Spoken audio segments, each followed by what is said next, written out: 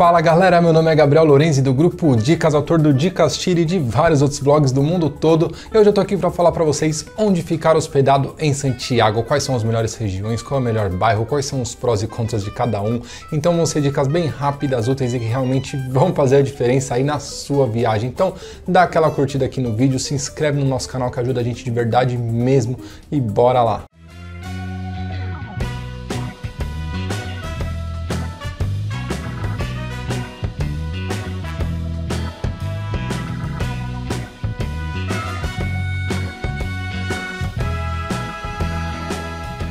Bom, Santiago é uma cidade linda, a gente gostou muito, na minha opinião, foi a cidade da América do Sul que eu mais gostei, que eu me senti mais em casa, achei o lugar muito bonito, organizado, limpo. Eu virei fã de Santiago de verdade, então é uma cidade muito bonita e tem várias regiões bacanas para se hospedar, mas tem algumas que são bem melhores em questão de localização dos pontos turísticos. Então, para você que está indo a primeira vez para lá, principalmente, é bacana você ficar numa região que esteja perto de tudo, que esteja perto dos melhores pontos, passeios, para você não ficar perdendo muito tempo. O Chile tem até que uma linha de metrô bacana, transporte público, você consegue pegar Uber, táxi, mas quanto mais perto você tiver das coisas, melhor. Então vamos lá, tem duas regiões que a gente recomenda muito, que é, sendo bem direto, que é a região de Bela Vista e a região de Providência. A região de Providência ela é maior e ela é um pouco mais procurada pelos turistas. É a região número um aí em busca de hospedagem, tudo para quem está indo para Santiago a turismo. Então Providência é o mais procurado, só que tem também Bela Vista que fica pertinho ali, grudado em Providência, que a gente vai explicar o porquê a gente recomenda lá também. Então vamos lá, primeiro falando de Providência. É uma região muito gostosa, muito bacana. As casas, os prédios, a arquitetura é muito bonita, as ruas são bem arborizadas, é tudo um lugar muito bonito mesmo para ficar. Ele não fica exatamente no centro do Chile. As atrações turísticas, que é o centro histórico, né, que chamam do Chile, que é onde tem a Plaza de Armas aí, o Palácio La Moneda, tá um pouquinho mais pro lado, tá fora dessa região e não é uma região tão bonita para se hospedar. Então por isso que as pessoas acabam ficando em Providência para poder estar tá pertinho ali do lado do centro e ir nessas principais atrações turísticas e históricas. Mas lá no bairro de Providência tem muita atração turística também bacana e tem muita coisa nova e moderna. Por exemplo, tem os dois cerros que são lindos. Um fica bem embaixo, que é o Cerro Santa Lucia, e em cima tem o Cerro San Cristóvão. São dois cerros incríveis. O que é o cerro que eles chamam? É como se fosse um miradouro, vai. Você sobe numa montanha, numa colina, os dois são lindos, tem esculturas no caminho, parque. O Santa Lucia, ele é bem menor, você conhece ele rapidinho. O San Cristóvão, ele é enorme, ele fica dentro do Parque San Cristóvão, que você vai ver pelo mapinha aí, que ele é enorme, ele tá na parte de cima aí do bairro de Providência, e eles dão uma vista, eles proporcionam proporciona uma vista da cidade que é sensacional. Então são dois lugares muito procurados. Então lá no bairro de Providência tem também o Costaneira Center, que é o maior shopping aí da América Latina. É gigantesco e tem o maior arranha-céu também, que é o La Costaneira. Então são dois lugares que você vai visitar. Então você acaba estando bem próximo de tudo. E lá também tem a La Chascona, que é uma das três casas turísticas aí que viraram museu do Pablo Neruda, que é muito procurado também. E tá tudo lá. Então você vai estar perto de praticamente tudo. É uma região muito bacana e tem muito hotel. A maior oferta de hotéis está lá dentro, não tem jeito. E tem também a região de Bela Vista, que a gente comentou que fica bem do lado, você vendo mapinha, você vê que é uma região menor, mas está ali do lado e também está em cima desse centro histórico que a gente comentou que tem algumas atrações mais históricas da cidade. Só que esse bairro ele é muito badalado, é muito gostoso porque tem muita gente jovem, tem muito restaurante, barzinho, tem o Pátio Bela Vista, que é um como se fosse um mini shopping center, só que é quase tudo restaurante, algumas lojinhas de lembrancinha bacanas para você visitar também, mas tem muito restaurante, barzinho legal que a noite fica tudo iluminado, é muito bonito. Então você ficando lá, você também vai estar numa região muito bacana e entre Providência e o centro, então você está ali numa localização boa. Então vai do seu gosto, vê, geralmente de praxe é ficar em Providência. Se é a sua primeira vez, você está um pouco na dúvida, vai lá que é garantido.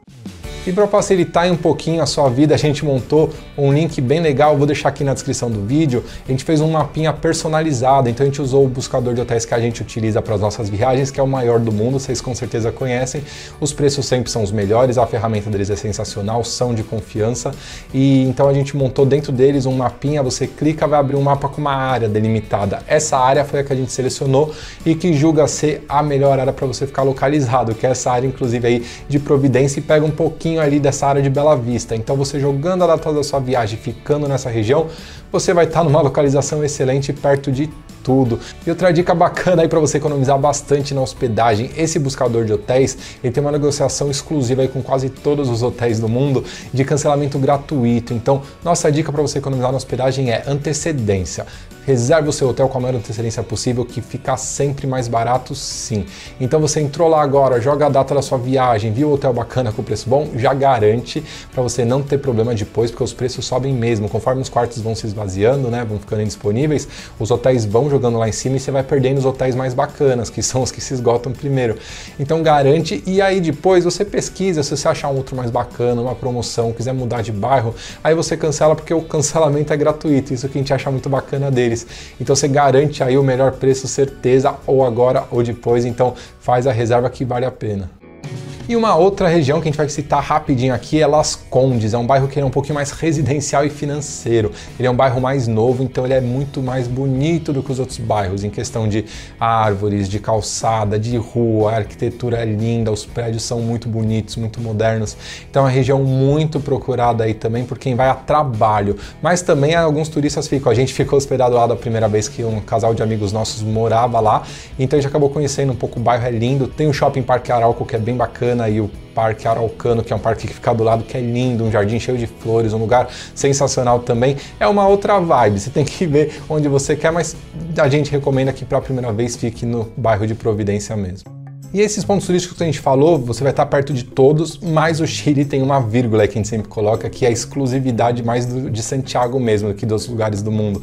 Muitos pontos turísticos importantes e passeios estão fora de Santiago, então tem três passeios aí que a gente julga ser imperdíveis, que a gente achou sensacional. O primeiro deles é Carrão del Maipo. É um lugar sensacional mesmo, diferente de tudo que a gente já viu na vida, e fica a uma hora e pouquinho de Santiago, então tem muito passeio bacana para lá. Tem também a uma hora e pouco as cidades de Vina del Mar e Valparaíso, que são lindas, tem os passeios bate-volta que são muito bons e tem também o famoso Vale Nevado e Farellones, que são as montanhas aí com pista de esqui, para quem quer ver neve, quem quer ver esse clima aí de montanha, esse cenário que é fantástico, vale muito a pena. Então esses três passeios são muito procurados, são os mais procurados e também tem as vinícolas, tem muita vinícola bacana, a principal é a Conte Toro. Então, resumindo, tem muita coisa que você vai fazer fora dessa região, tá? Só para deixar claro que você não vai ficar só nessa região conhecendo os pontos turísticos.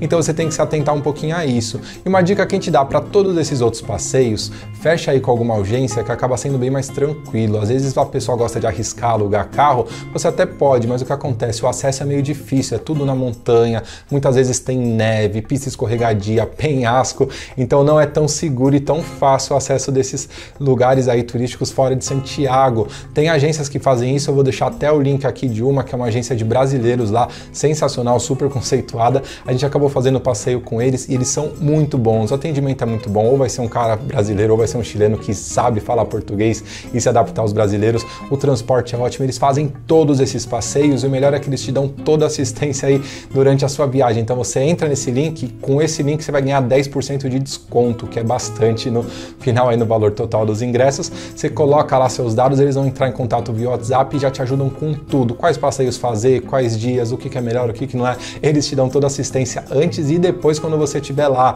Então acaba sendo muito bom. A gente utilizou muito eles, a gente recomenda mesmo.